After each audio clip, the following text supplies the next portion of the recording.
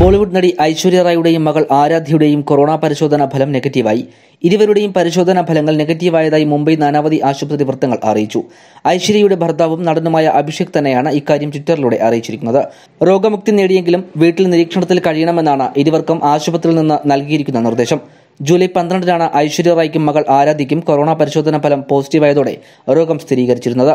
തുടർന്ന് വീട്ടിൽ നിരീക്ഷണത്തിൽ കഴിയുകയായിരുന്നു ഇരുവരും. പിന്നീട് ഇരുവരെയും പതിനേഴാം തീയതി നാനാവതി ആശുപത്രിയിലേക്ക് മാറ്റുകയും അവിടെ അവർ ചികിത്സയിൽ തുടരുകയും ചെയ്തു.